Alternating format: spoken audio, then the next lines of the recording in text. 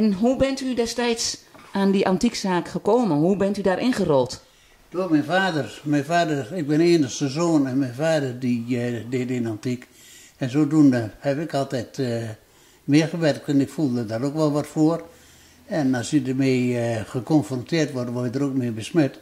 En vandaar ook dat mijn liefde er steeds voor is blijven groeien. En ondanks dat toen mijn vader en moeder die niet meer bewaren, heb ik dat toch altijd maar doorgezet. En dat met, uh, met heel veel liefde. Ja, want er, uh, ik zie naast mij ook Delftse Blauw. En ook daarin uh, handelde u? Dat kwam ook voor. We werden wel eens gevraagd bij overlijdens en zo. En dan gingen we vragen of dan werden we erbij geroepen. En dan of er wat van onze gading bij was. En dat kon, dat kon voor alles zijn. Dat kon koper zijn, tin of porselein of in allerlei variaties. En als mij dat goed leek en we kwamen tot elkaar, dan werd dat gekocht.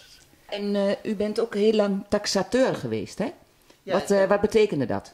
Nou, taxaties, dat werd gedaan. Dan werd ik door een notaris gevraagd om bij bepaalde families een taxatie te verrichten waar een overlijden was. En dat ging dan vaak voor de verdelingen en dergelijke dingen. Dan hadden de mensen de, een redelijke prijs om iedereen aan zijn trekken te laten komen. Dus u bent eigenlijk gewoon heel breed georiënteerd? Heel breed georiënteerd en dat, dat kon ook gewoon niet anders. En dat, uh, daar kwam je ook veel te veel dingen voor tegen die wat wel interessant waren. En uh, die je dan kocht en zo werd dat ook, uh, ja, kwam je ook tot een, tot een groter assortiment.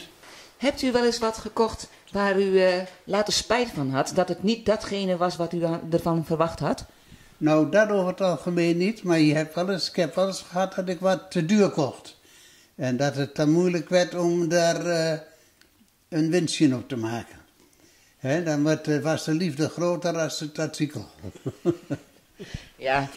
ja. En ja, ja, is, is hier wel eens wat gestolen? Ja, er is een paar keer wat bij mij gestolen.